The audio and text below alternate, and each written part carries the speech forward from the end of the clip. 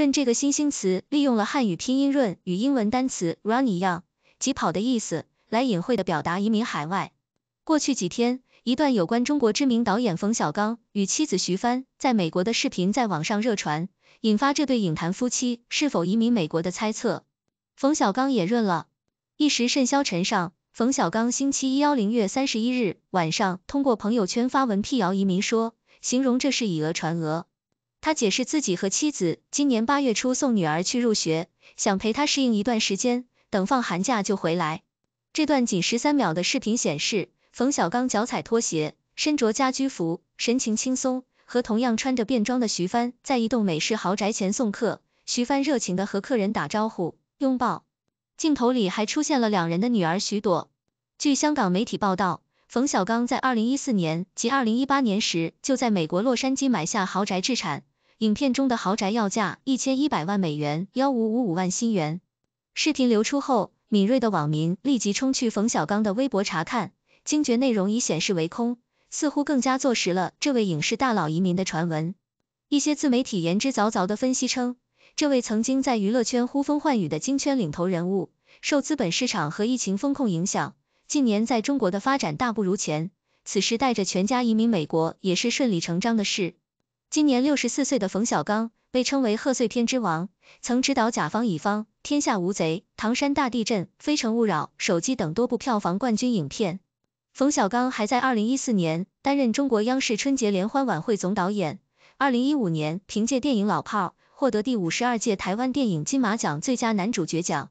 二零一六年，在以电影《我不是潘金莲》获得第六十四届圣塞巴斯蒂安国际电影节最佳影片金贝壳奖，第五十三届台湾电影金马奖最佳导演奖，第三十一届中国电影金鸡奖最佳导演奖。对于这样一位在中国影坛地位举足轻重的名导润去美国的消息，网民的反应两极化。一些网民认为，每个人都有选择自己生活环境、生活方式的权利。必须承认，有钱人选择机会总是多一些，并说美国本来就是中国第一大移民目的地，凭啥冯小刚不能移民？也有不少网民无法接受，认为冯导曾拍摄幺九四二集结号、唐山大地震等爱国影片，赚足中国人眼泪和钞票，对中国观众应该有交代，不能吃完爱国红利扭头就润了。传闻经过几天发酵后，冯小刚终于坐不住了，他在朋友圈回应道：“我和帆子八月初送女儿去入学。”孩子小第一次远行，想陪她适应一段时间，也顺带聊聊项目合作，了解一些电影制作的新技术。等闺女放寒假就回来。他在文末还强调，我和徐帆这么热爱北京，眷恋故土，离不开哥们儿，吃不了西餐，在国内又有事业，电影拍的都是家国情怀，国家也有恩于我，我以哪门子名呢？似乎也回应了他吃爱国红利的质疑。至于微博清空，稍冷静一点就会发现。那应该是冯导设置了半年可见的功能所致。张艺谋也被移民，在冯小刚被润前不久，中国另一知名大导演张艺谋也传出移民美国的消息。今年七十一岁的张艺谋名气比冯小刚更大，曾执导过《大红灯笼高高挂》和《红高粱》等多部知名电影，在国际间享有极高的知名度。更重要的是，张艺谋还执导了北京二零零八年奥运会开闭幕式。今年二月召开的北京冬奥会开闭幕式也是由他担任总导演，他也因此成为世界首位指导夏奥和冬奥开闭幕式的双奥总导演。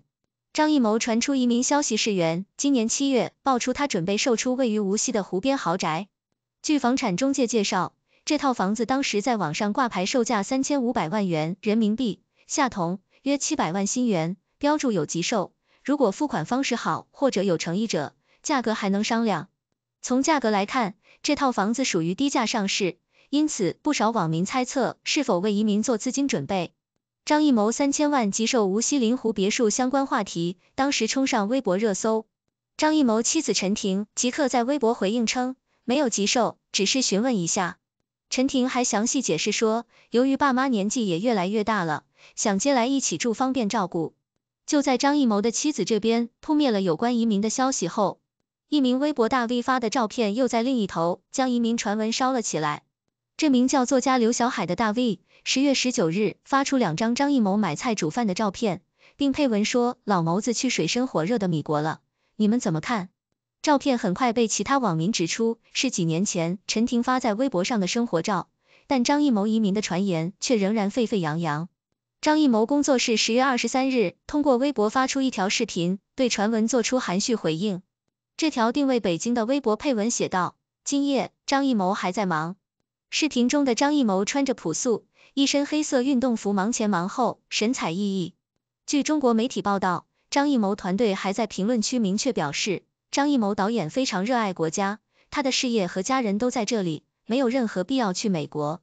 大约是从今年四月开始，在上海经历了长达数周的封控措施后，关于上海人想润了的内容开始增多。其中包括网传中国著名学者、金融学家郎咸平离开上海，移民香港。长居上海的郎咸平今年四月发微博诉说失母之痛，其九十八岁的老母亲患有肾衰竭，但封控期间需在医院外等待核酸结果，在等了四小时后没能及时打上一针，母亲和他永别。随后，微博和港媒均传出郎咸平决定离开上海，移民香港。不过，从郎咸平最近发出的微博来看，定位仍显示为上海。虽然尚不能确认郎咸平是否真的离开上海，但面对中国望不到头的动态清零，确实催生了许多富豪以及中产家庭润出去的念头。中国网络数据今年五月显示，各大搜寻平台上关于移民的搜寻次数暴增，微信指数增加四倍多，搜索量达到近五千万次。百度关于移居加拿大条件的搜索量也冲到第一名。环比上涨高达百分之两千八百四十六，出国哪里好的搜索量位居第二，增加了百分之两千四百五十五。搜索数据还显示，移民检索量增幅最高的前三名来自上海幺零九六幺、天津四幺五和广东二九七九。另一方面，中共二十大结束，新一届政治局常委亮相后，市场悲观情绪浓厚，首个交易日，恒生指数创下二零零八年全球金融危机以来最大跌幅。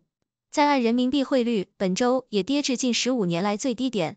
外界对中国未来感到忧虑、缺乏信心之际，冯小刚、张艺谋这样看上去既有资本又掌握一定消息来源的名人，他们的一举一动就格外牵动大家敏感的神经。大导们的移民消息虚虚实实，难辨真伪，甚至不少是捕风捉影。但无论这些导演润还是没润，大家对这个问题关注度如此之高，反应如此敏锐。多少反映出中国民众内心的真实情绪，未来的不确定让他们焦虑不安、患得患失，但眼下的现实情况又令他们进退维谷。